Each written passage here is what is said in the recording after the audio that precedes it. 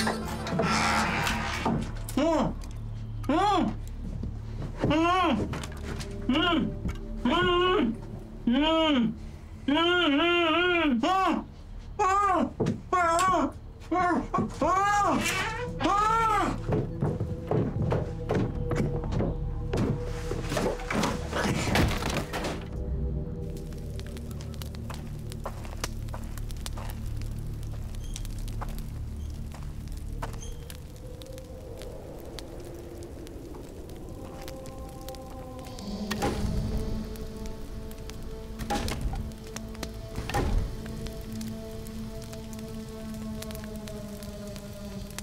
İçeridekini ne yapacaksın?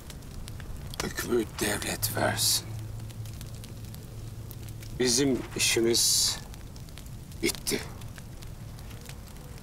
Sen git.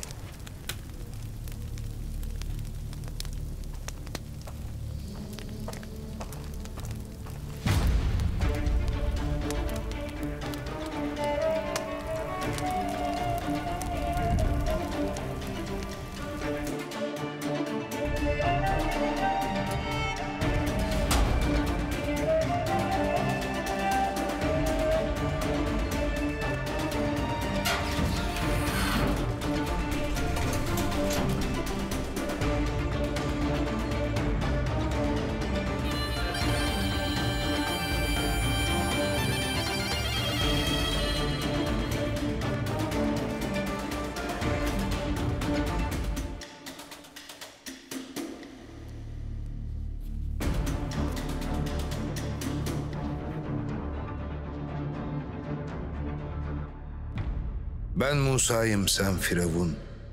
İkrarsız şeytanı lain. Üçüncü ölmem bu hain. Pir sultan ölür, dirilir.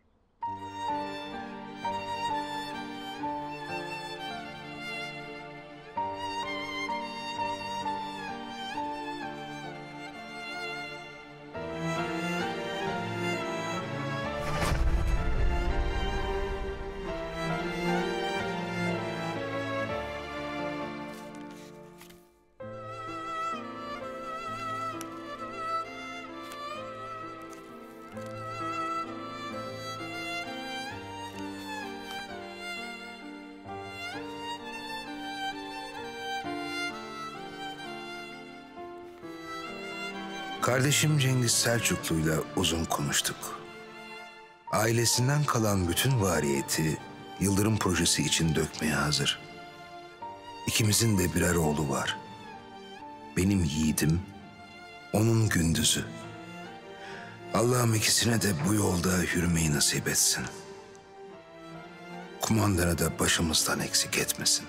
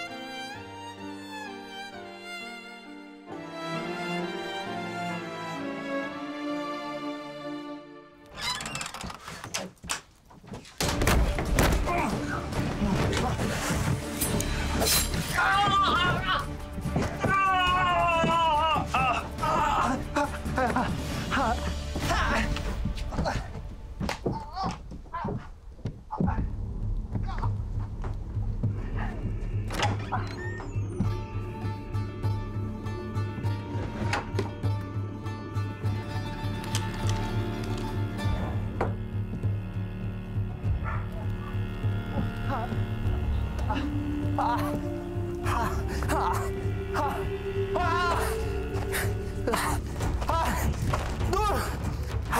Bu kadar sene sonra ne geçecek eline?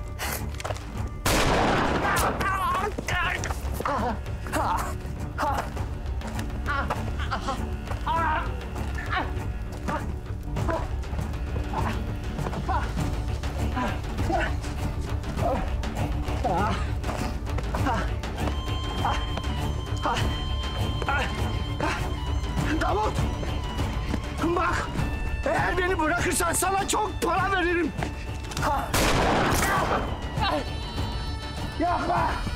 Davut. Bak biz arkadaşız. Eski arkadaşız yapma. Hem benim arkamdan gelmeyecekler mi sanıyorsun? Senden de intikam olmayacaklar mı? Adaletten kaçacağını mı sandın? Dur. Sakın. Öldürme. Öldürme beni. Bak sana çok önemli bir bilgi vereceğim. Konuşma hadi. Dinle.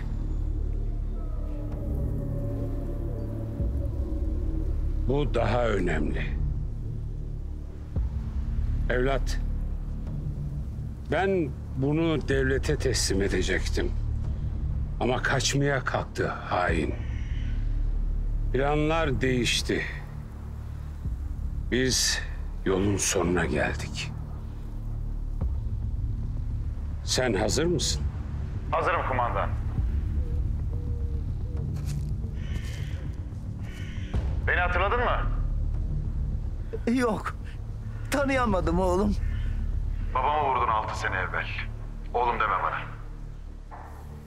Annemi vurdun. Beni de vurdun. Ama ölmedim. Cengiz Selçuklu'nun oğlusun sen. Biz vatansever anne babaların oğulları, kızlarıyız.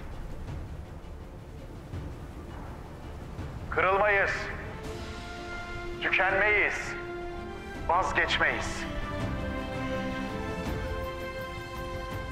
Sizin bütün çabalarınıza rağmen Yıldırım projesi hayata geçiyor. Siz bütün hainler, şer odakları, dahili ve harici bedahlar, cebren ve hileyle aziz vatanın bütün kalelerini zapt etseniz, bütün tersanelerine girseniz, bütün ordularını dağıtsanız, memleketin her köşesini bil fiil işgal etseniz bile biz Türk gençliğiz. Vazifemiz Türk istiklal ve cumhuriyetini kurtarmaktır.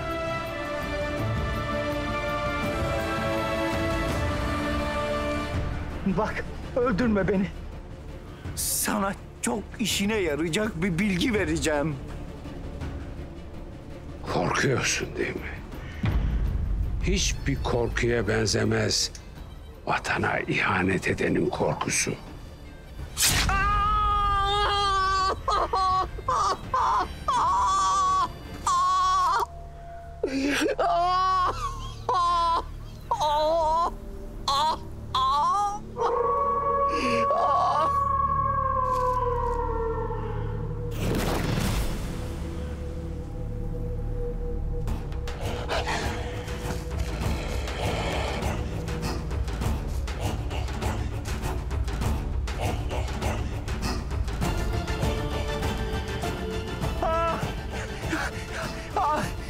Bak gitme. Bu- Bırakma beni. Bak nizama kim emir veriyor? Onu söylerim sana. Tamam.